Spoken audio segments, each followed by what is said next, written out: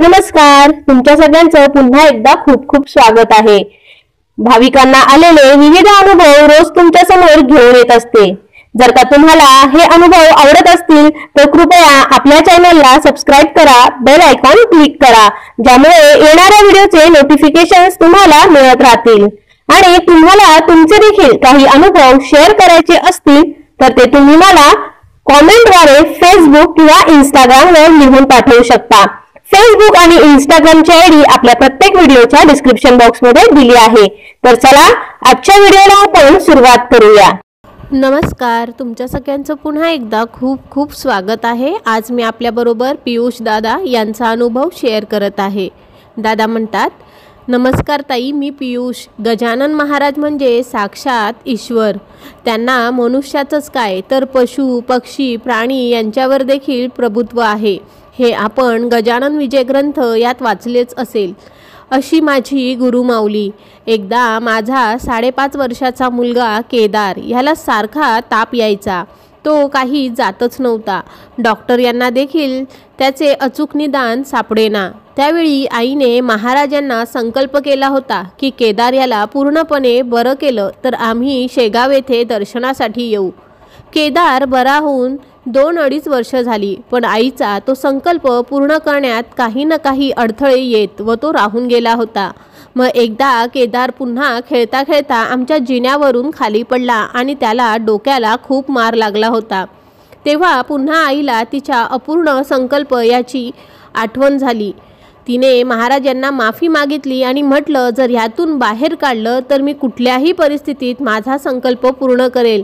महाराज आपले दयाळू. ते नेहमीच भक्तांना सांभाळून घेतात. त्यांनी पुन्हा एकदा केदार याला संकटातून बाहेर काढलं आणि मग आई मला शेगाव येथे घेऊन जाण्यास मागे लागली. मी ऑफिसला दोन दिवस सुट्टी मिळावी म्हणून अर्ज केला. साहेब सुट्टी देण्यास तयार नव्हते पण मी चार दिवस ओव्हरटाईम करून कामात कुठलेही नुकसान होऊ देणार नाही असं सांगितल्याने साहेबांनी शेवटी फक्त दोन दिवसांची रजा मंजूर केली. आम्ही सगळे शेगाव येथे दर्शनासाठी निघालो. रस्त्यात औंढा नागनाथ इथल्या ज्योतिर्लिंग मंदिर होते. श्रावण महिना सुरू होता म्हणून आईने आधी तेथील दर्शन घेऊन पुढे शेगाव येथे जायचे ठरवले. आम्ही विचार केला सकाळी दहा अकरा वाजेपर्यंत औंढा नागनाथ येथे पोहोचू व तिथे तास दीड तासात दर्शन घेऊन मग जेवण करून संध्याकाळी शेगाव येथे पोहोचू. तिथे मुक्काम करू दुसऱ्या दिवशी सकाळी महाराजांचं दर्शन घेऊ मग रात्रीपर्यंत घरी पोहोचू. म्हणजे तिसऱ्या दिवशी मी कामावर हजर होऊ शकेल. पण महाराज आमची परीक्षाच घेत होते. आम्ही औंधा नागनाथ येथे सकाळी अकरा वाजता पोहोचलो. पण श्रावण महिना असल्याने तिथे दर्शनासाठी खूप मोठी रांग होती. त्या लोकांच्या गर्दीत केदार ह्याचा हात त्याच्या आईच्या हातातून सुटला व त्या गर्दीत तो हरवला. मग काय? आम्हा सगळ्यांची खूपच धांदल उडाली. दर्शन घ्यायचे बाजूलाच राहिले. आम्ही सगळे केदार याचा शोध मंदिर परिसरात घेऊ लागलो. आई मी माझी पत्नी असे सगळेच मंदिराचा कानाकोपऱ्यात धुंडाळून केदार याला पाहू लागलो. तास दीड तास होत आला तरी केदार काही सापडेना. तीन वाजून गेले. आम्ही उपाशी पोटी केदार याला शोधत होतो. शेवटी मी आईला व पत्नीला म्हटलं की तुम्ही गाडीत बसून घ्या. मी शोधून आणतो केदार याला. धोनीचं रडून रडून हाल झाले होते. त्या काही खायला प्यायला देखील तयार होईना. शेवटी मी त्यांना जबरदस्ती बाहेर पार्किंगमध्ये उभ्या असलेल्या आमच्या गाडीकडे घेऊन निघालो. तेव्हा आईने रागातच महाराजांना म्हटलं की मी तर मोठ्या श्रद्धेने माझा संकल्प पूर्ण करण्यासाठी तुमच्या दर्शनास येत होती आणि ह्यावेळी तो पूर्ण करण्यात जो अडथळा येत आहे तो जर तुम्ही दूर केला नाही तर मी पुन्हा कधीही तुमच्या दर्शनाची आस लावणार नाही. जास्त परीक्षा घेऊ नका महाराज. आई असं रागातच महाराजांना बडबडत होती. मी तिला म्हणालो तू आधी शांत हो देव कधी कुणाला संकटात टाकतो का? महाराजांनी यावेळी आपल्याला त्यांच्या दर्शनासाठी घरातून बाहेर निघू दिलं. ह्याचाच अर्थ ते त्यात कुठलाही विघ्न येऊ देणार नाही. असं म्हणून पार्किंग लॉटमध्ये आमच्या गाडीकडे आईला व पत्नीला घेऊन आलो. तर आम्हाला आमच्या गाडीकडे एक व्यक्ती केदार याला घेऊन उभा असल्याचे दिसले. केदार याला ब समोर बघताच आमच्या जीवात जीव आला. पत्नीने धावत जाऊन त्याला मिठी मारली. मी त्या व्यक्तीला म्हटलं तुम्हाला हा कुठे सापडला? आणि तुम्ही नेमके ह्या ठिकाणी त्याला कसे घेऊन आलात? तुम्हाला याने म्हणजे केदारने ही गाडी दाखवली का? तेव्हा ती व्यक्ती म्हणाली मला हा तुमचा मुलगा मंदिरात रडत असताना दिसला. मी त्याला खूप विचारलं की तुझे आई बाबा कुठे? तू कोणासोबत आला? पण तो काहीच बोलत नव्हता. तो सारखा रडतच होता. शेवटी खूप वेळा प्रयत्न करूनही तो काही बोले ना. म्हणून मी त्याला इथे मंदिरातील सुरक्षा व्यवस्था अधिकारी यांच्याकडे सोपवण्यात जाणार होतो. पण मग माझ्या मनात विचार आला की हे लेकरू उपाशी असेल त्याला भूक लागली असेल म्हणून मी आधी त्याला काही खायला घालू व मगच सुरक्षा व्यवस्था अधिकारी यांना सोपवू असं ठरवून इथे पार्किंग समोरच्या त्या हॉटेलमध्ये खाण्यास घेऊन आलो. तिथे बसलो असताना अचानक माझी नजर तुमच्या या गाडीवरील काचेवर लावलेल्या गजानन महाराज यांच्या स्टिकरकडे गेली आणि मला या मुलाच्या गळ्यातील दोऱ्यात ही महाराजांचे छोटे पॅन्डन दिसले. म्हणजे त्यावरून मला वाटलं की ह्या मुलाचा व त्या गाडीचा संबंध असावा. आणि त्याच गाडीने तो इथवर आला असावा. म्हणून मी थोडा वेळ इथे या गाडी मालकाची वाट पाहायचे ठरवलं. आणि माझ्या मनातले विचार हे सगळे खरे ठरले. या मुलाचा आणि गाडीचा संबंध जुळला. आणि माझ्या मनात हे सगळं गजानन महाराज यांनीच आणलं ह्याची खात्री पटली. त्या व्यक्तीचं बोलणं ऐकून आम्ही सगळे थक्क झालो.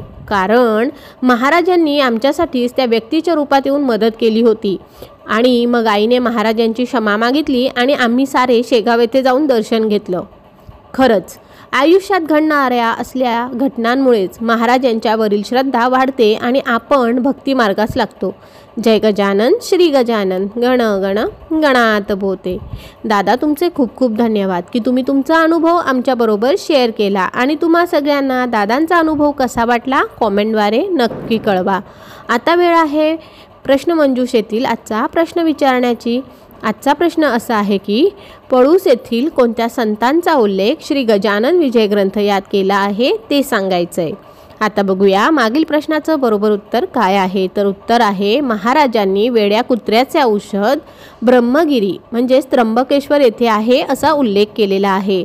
आणि ज्यांनी बरोबर उत्तरं दिली आहेत त्यांची नावे? पुढीलप्रमाणे पहिलं ललिता क्षीरसागर दोन शेफाली कांबळी. तीन पपिता भुरखंडे चार रमेश काळे. पाच श्रीराम खुळे. सहा पुष्पा बनसोड. सात विश्वास बनसोड. आठ संजीवनी बांगड. नऊ ज्योत्स्ना जाधव. दहा राजकुमार पाटील. अकरा सुवर्णा शिंदे. बारा सीमा पाटील.